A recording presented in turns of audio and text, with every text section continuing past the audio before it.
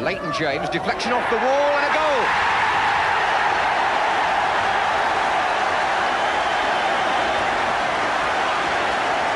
Mick Martin trying to explain what happened, but Leighton James' chip ricocheted off the defensive wall and beat Kevin Carr in the far corner. Mitchell.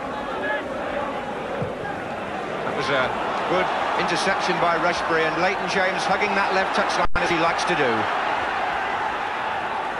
Robbie James! What a start here by Swansea.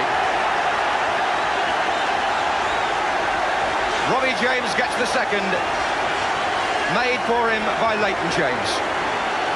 Number nine, going down the left. Early ball in, and Robbie James got the touch.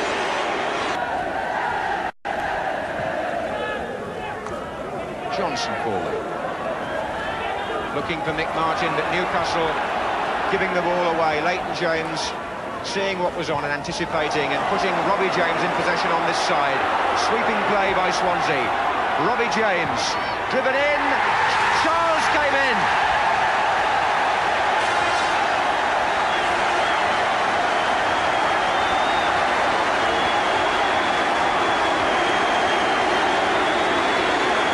Robbie James down the right.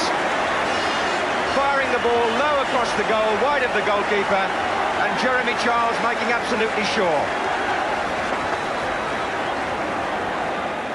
So a highly impressive first-half performance by a vibrant Swansea side, and they continued their search for goals in the second half.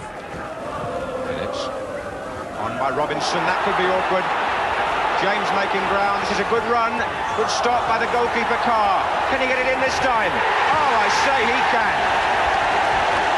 Robbie James must have had three goes at it.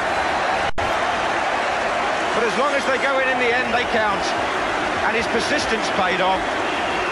With a good early run, Carr stopped the first effort, he was in there again, and when it rebounded once more, Robbie James got his second, and he got Swansea's fourth.